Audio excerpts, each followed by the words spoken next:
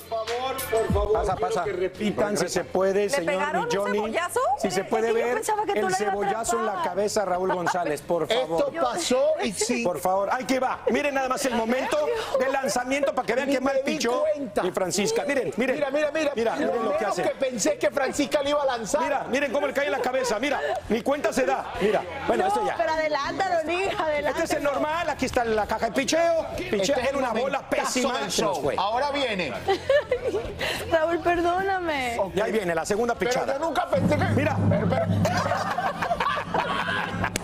Yo no vi en el momento donde yo iba a lanzar. y se ve que tienes la cabeza dura, papá, porque la cebolla mira, pesaba, mira, ¿eh? mira, eh. Sí pesaba. Sintió. Y eso que estuvo ensayando Francisca en el lanzamiento. Ahora, solo quiero que le huela la cabeza si le quedó apestosa Y las cebolla. manos, Mira, dicen por ahí, la vida es una cebolla. Total. Bueno, estés bien después de ese descalabro.